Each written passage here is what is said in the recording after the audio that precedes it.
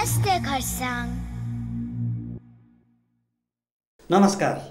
यहाँलाई नमस्ते खरसाङ च्यानलमा सम्पूर्ण नमस्ते खरसाङको परिवारको तर्फबाट स्वागत जनाउँदछु।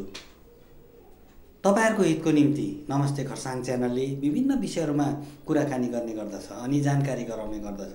र यही क्रममा आज हामी एउटा जरुरी विषयमा कुराकानी गर्न लागिरहेछौँ। अहिले हामी डिजिटल युगमा छौँ। र कुनै पनि क्यास अथवा नगद सम्बन्धी कारोबार गर्नु पर्दाखेरि mobile banking internet banking debit card ATM card जस्ता सुविधाहरू हामी उपयोग गरिरहेका छौँ।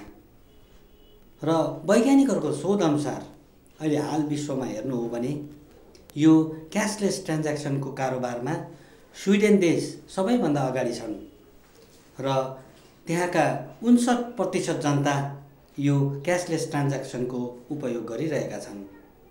र अहिले हाम्रो भारत देश पनि यो डिजिटल युगमा अघि आउँदै आइरहेको कुरा हामी चाल पाउन सक्छौँ।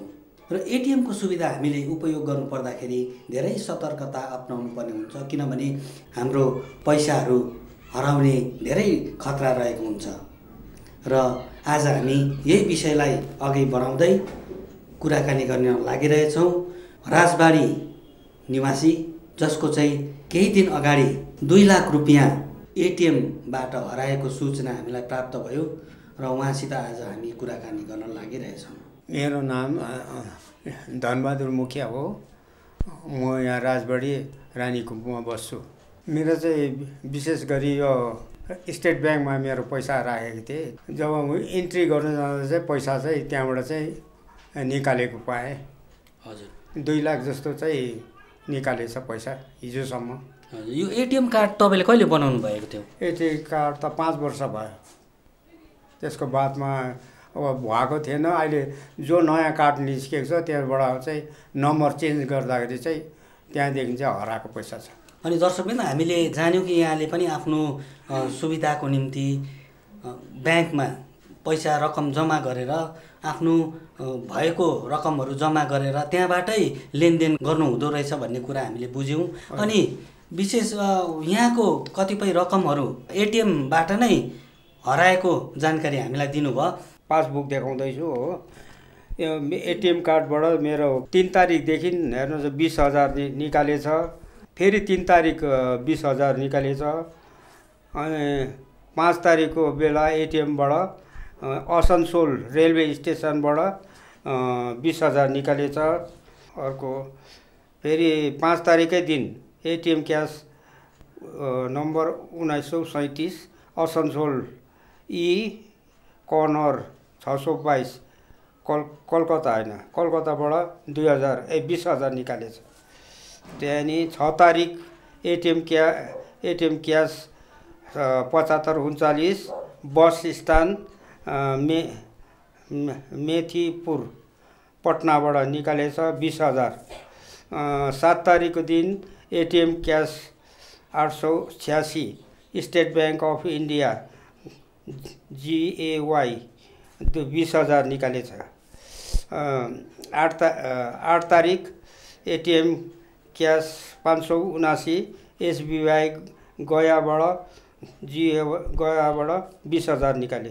दस तारिक फेरि निकालेछ दस तारिक दस बाह्र अठारमा एटिएम क्यास तिन सौ त्रिचालिस एसबिआई आइएसएन धनबाद। धनबादबाट निकाले बिस हजार निकालेछ। अर्को अर्को फेरि दस तारिक एटिएम क्यास एक्काइस एकानब्बेबाट दुई बिस हजार निकालेछ। दस तारिक फेरि एटिएम क्यास एक्काइस एकानब्बे। अप्पर बस्ती त्यहाँ त्यहाँबाट पनि बिस हजार निकालेछ अनि एघार बाह्र एटिएम क्यास एकचालिस छ्यासी एसबिवाई पटना रेलवे स्टेसनबाट बिस हजार निकालेछ अनि बाह्र तारिक बाह्र महिना बा अठार एटिएम क्यास पैँतालिस अस्सी रेलवे स्टेसन प्लेटफर्मबाट बिस हजार निकालेछ त्यहाँसम्म निकालिसकेछ पैसा। तपाईँले जुन चाहिँ यो थाहा पाउनुभयो नि यो कहिले थाहा पाउनुभयो मैले हिजो बाह्र तारिक बाह्र महिना उसमा पाएँ। अनि यसको लागि तपाईँले ब्याङ्कसँग जोगाजोग गर्नुभयो? ब्याङ्कसँग जोगाजोग म्यानेजरलाई भेटेर जोगाजोग गर्दा मेरो पैसा यस्तो दुःख गरेर राखेको पैसा यसरी झिकेर लगेछ। अन्त यो पैसा म तपाईँहरूले गर्नुपर्छ होइन? होइन ब्याङ्कबाट पाउँछ भनेर म्यानेजरले चाहिँ भन्यो। तपाईँले एफआइआर गर्नुभयो कि भएन? एफआइआर गर्नु गएको थिएँ तर गरेको छैन अब गर्छु। आज गर्नुहुँदैछ। आज गर्छु। तपाईँको यो पैसा जुन चाहिँ हरायो है त्यो हराउनुकोमा के कारणहरू रहेको हुनसक्छ? तपाईँले के अन्दाजा लाउनु भइरहेको छ? कोही बा केही भन्नु सक्दिनँ अब म कार्डहरू त मेरोमै हुन्छ। सबै त्यो निकाल्नु पर्छ। घरकोहरूलाई पनि थाहा छैन त्यो जो कार्ड हो। अब कसरी चाहिँ भयो के भयो त्यो चाहिँ मलाई याद भएन। अनि तपाईँलाई कुनै एटिएम कार्डको नम्बर माग्दै अथवा ब्याङ्कको डिटेल्सहरू माग्दै फोनहरू आएको थियो? आएन कतै एउटा पनि आएन। कम्पनीको चाहिँ आउँथ्यो फोन हो बेला बेलामा आउँथ्यो अरू चाहिँ आएन। यो कम्पनीको फोनहरू आउँदा चाहिँ तपाईँले उठाउनुहुन्थ्यो फोनहरू? यसो हेर्थेँ कम्पनीको दिन्थ्यो अनि मैले राखिदिइहाल्थेँ। बङ्गालाबाट दिन्थ्यो हो। हजुर। अन्तखेरि मैले राखिदिइहाल्थेँ। एटिएम कार्डको त छुट्टै एउटा सेपरेट चारवटा नम्बर हुन्छ।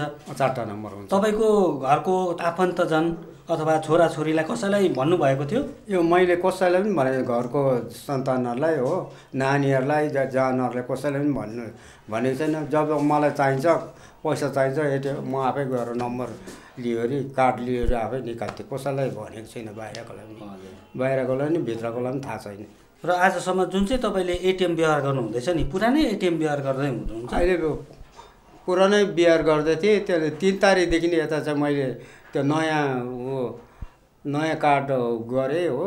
त्यसमा चाहिँ त्यो गार्डले भन्यो क- नयाँ म चेन्ज गर्नुहुन्छ भने हुन्छ। भन्यो अनि मैले चाहिँ नयाँ चेन्ज गरेँ। तपाईँ जस्तै अरू भुक्तभोगीहरू जसले एटिएमको सुविधा अहिले चलाइरहेका छन् उनीहरूलाई आफ्नो कुराहरू राख्नु पर्दाखेरि के के कुराहरू राख्न चाहनुहुन्छ? अब सबैलाई हामीले अब एटिएम गर्छौँ। अब तिनीहरूलाई पनि अब यस्तो नहोस् भन्ने मेरो ऊ छ। सुझाउ छ। र आज हामीले कुराकानी गऱ्यौँ। एकजना भुक्तभोगी जसको चाहिँ दुई लाख रुपियाँ हराएको जानकारी हामीलाई यहाँले गराउनु भयो। यहाँ हुनुहुन्थ्यो राजबाडी निवासी भीमबहादुर मुखिया।